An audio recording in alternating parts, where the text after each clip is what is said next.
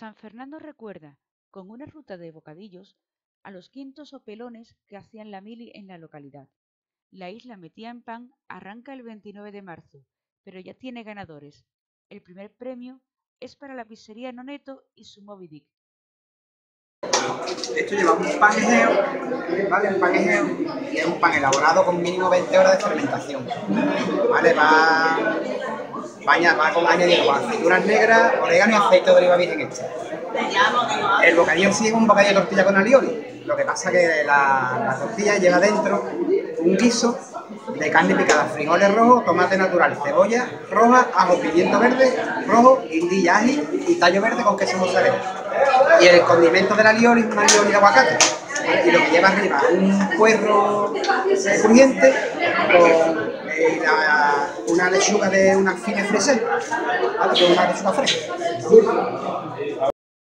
El segundo premio ha sido para la tabarra.